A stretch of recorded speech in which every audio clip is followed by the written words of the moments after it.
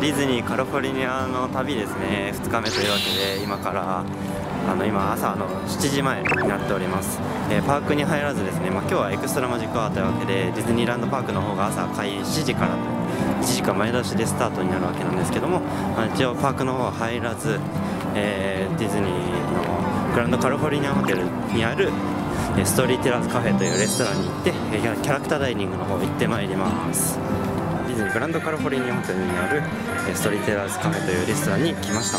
えー、ここではですねディズニーのキャラクターたちと会えるというわけでミッキー、ミニー、プルト、チップとデールにあの会ってあの食事をしながらキャラクターグリーティングができるという素晴らしいレストランになっております、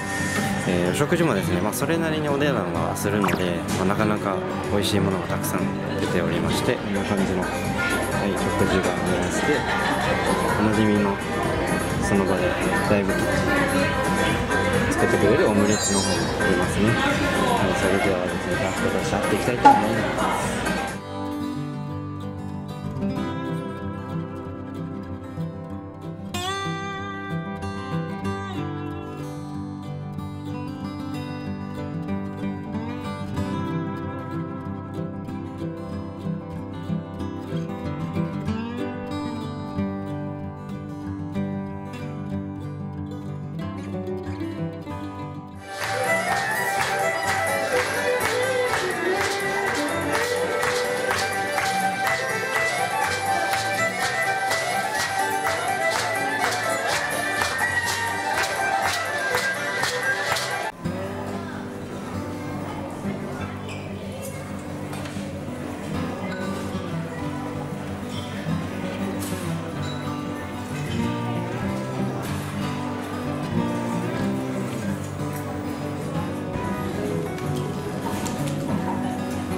はいじゃあ朝食終わりまして今8時ちょっと前になりますんでいやお腹いっぱいになりましたね。これからじゃあパークの方に早速行ってまいりたいと思います、えー、まず行くのはギャラクシーゼッチ行ってきましょう。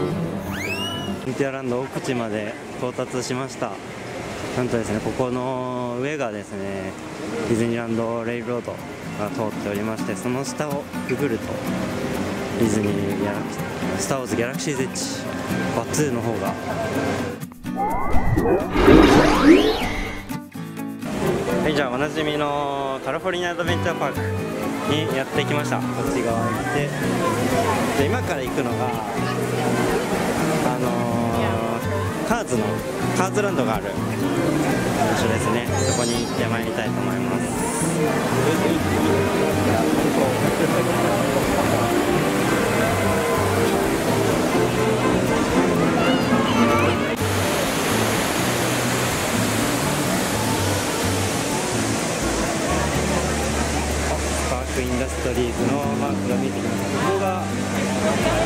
先にあのアベンジャーズカンパニーアベンジャーズのマーベルのエリアができるというわけなのでそこがですねちょうど今追われてるのがスパイダーマンのアトラクションができる予定になってその奥にドクター・ストレンジのショーそして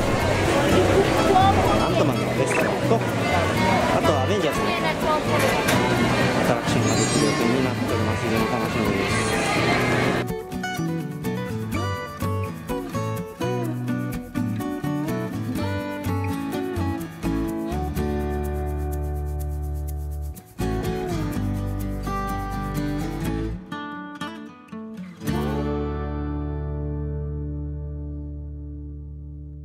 これから乗るのがインクレディコースターになります I loved roller coasters as a kid, so this is a dream come true for me. Roller coaster, that's the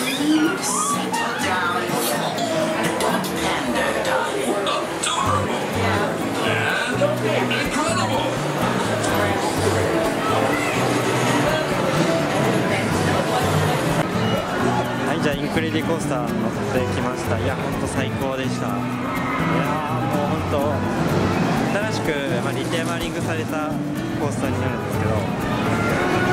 いいねやっぱインクレディブルの世界観がこれで味わえたかなと思いますそれではまた、えー、行ってみましょう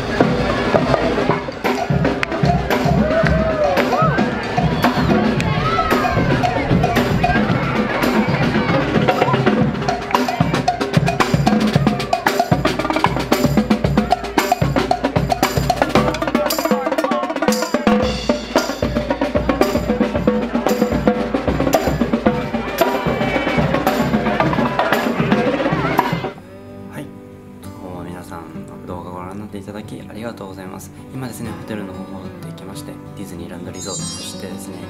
えー、ディズニーカラボリーナアドベンチャーどちらもですねあの非常に楽しんでまいりました、えー、たくさんグッズの方も買いましたし、えー、アトラクションショートあのあとキャラクター台というわけで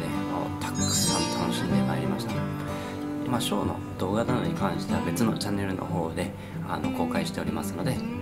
動画の概要欄の方にリンク載せておきます。そちらの方もぜひご覧になってください。それではまた別の動画でお会いいたしましょう。じゃあね。バイバーイ。